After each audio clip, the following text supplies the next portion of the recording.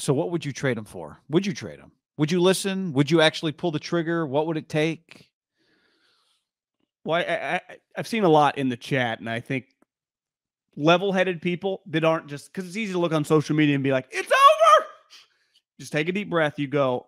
You keep star players, and I will say that the Niners in the York successful era, right, the right right before Harbaugh, Harbaugh, then to Kyle, beside DeForest Buckner, they extended the Bowmans, the Willises, the Frank Gores, the Vernon Davises, the you know Trent Williams, George Kittle, Fred Warner, like all their guys that like every team would want, like every team would want that guy. They've taken care of, right? Every fucking one.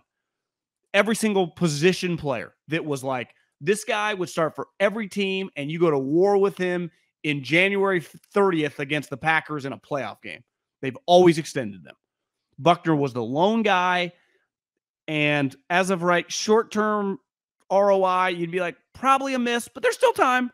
But I do they regret it? It's complicated. It's it's deeper than just Kinlaw. I would say in a vacuum, the Niners have always extended this player, right? Elite game breaker who's never been in trouble in Deebo mm. Samuel.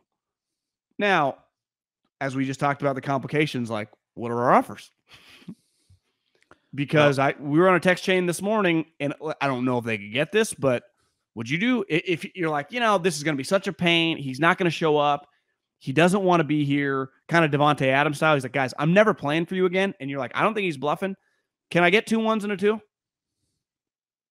Or is everyone going to have the same concerns we are? Well, I'm not trading you two ones and a two. That Jamal Adams is kind of a one off, but Khalil was traded for that. Jamal uh, Jalen was traded for that. Now you'd be like, Stefon Diggs was traded for a one. You just had some wide receivers that were older traded for. Now Tyreek Hill's a better player. He's just much more accomplished player. What was traded for a one, a two, a four, a next year's four, a six. Like it was a that was a big package the Chiefs got, right? Yeah. First thing I did was look back at what the Jets offered. What Schefter reported the Jets offered was two, for, for Tyreek Hill. Yeah, for Tyreek Hill. Was 35, 38, and 69. That's so, a no dog the third pick of the second round, the sixth pick of the second round, and the 69th overall pick. The uh, updated draft value chart, not Jimmy Johnson's, but the updated one, that's 398 points. The 10th pick is worth 369 points. Would you rather have the 10th pick or the 35, 38, 69 offer? You know, I, actually think you could talk to like 10 general managers and they say in in most drafts you take the 10 because you always have wiggle room but what if I get stuck at 10 in a draft that a lot of people think there's not that much difference between the 14th player and the 56th player? Like it's the, the second round, they think is going to, a lot of guys in the first are going to be equals to the guys in the second on a lot of people's draft boards. I just think PR wise, people would be like, what? Yeah. Second rounders doesn't feel good. Uh, I'm with you. I think you need multiple picks. Now, or, or, you know, pick and player would be an option. Jets, the Jets have number four, number 10, they have 35, and they have 38. The Jets have a lot of ammo, bro. Because they have their they have their pick, then they have that. Would, would you, pick, how, guy, would you, Carolina would you, would you do this? 35, 38, and next year's one? Just a bet against the Jets? I would definitely think about that. But the problem is I need to replace Deebo now.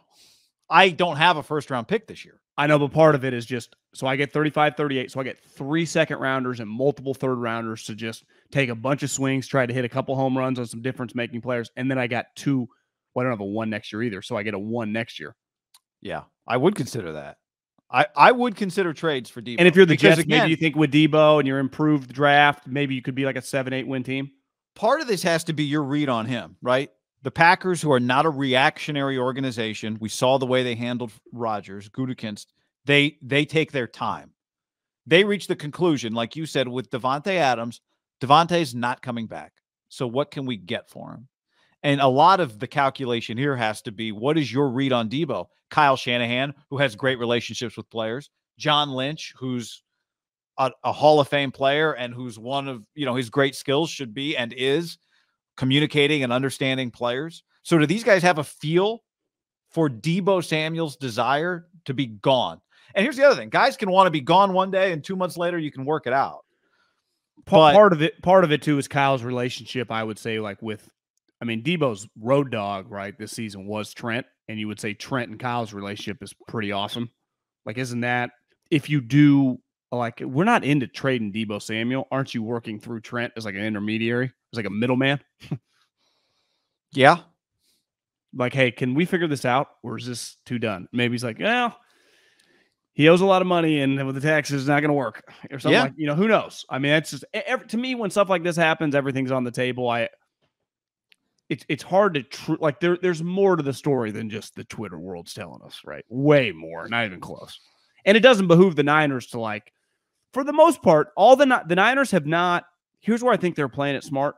They have put out zero negativity beside like he's just not interacting with us. It's not like you know he actually was fat last year. He actually this and you know we actually thought he was lazy for the first couple. Like they haven't done any of that crap yet. It does not behoove them to do it. And some teams can't help themselves because this type just keep, the the only thing you should leak out is like we want to keep him. He won't engage. Like that's fine. That's that's just a fact.